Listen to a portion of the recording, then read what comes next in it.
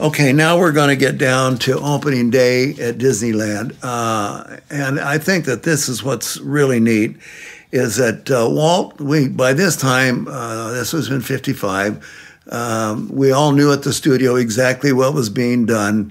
In fact, a lot of us were invited to come to Disneyland and sell our paintings and actually work on the streets with our art. And I actually sold some of my painted rocks down there.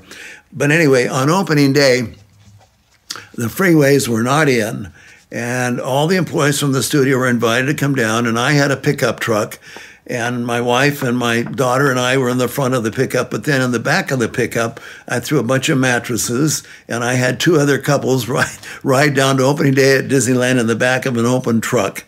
And of course, we got down there, and the neat thing about it was the parking was free but the place was absolutely packed. You couldn't you couldn't move in there. There was so much going on. I do have an eight millimeter film that I took of it, and basically all you're seeing is the tops of people's heads. But anyway, it was packed. But we did get a chance to go on the Rivers of America in the Mark Twain, which was pretty special.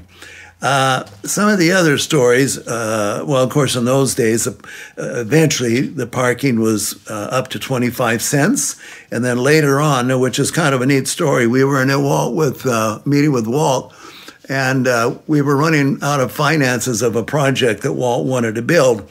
And um, he said basically we've we've been we've had the park for 25 cents for parking. He says i think we can charge 50 cents and if we really work it out financially he said that'll pay for the attraction which it did which was really great. It's interesting about food. Uh, even on opening day there was just nothing more than hot dogs and hamburgers and it kind of stayed that way for a long time. And the reason that they had a lot of hamburgers at Disneyland on all those little stands, because that was Walt's favorite lunch. And he just loved hamburgers. And he felt that's all the public really needed was a hamburger or maybe a hot dog and then some popcorn and, and some Coke and let it go at that. In the early days, from opening day on, uh, Walt did ask a lot of the artists that worked in animation to go to Disneyland and actually work there for an afternoon. And I think we did it on weekends when we didn't have to go to work, and we loved going down there. I do know that uh, I was asked to, because I painted on rocks, uh, to sell my rocks, which I did. I did that. Uh, Walt Peregoy and his paintings, he would take a series of his paintings down there, and he'd work on a painting uh, while he was there. Uh, one of the top animators that we had actually did caricatures of people.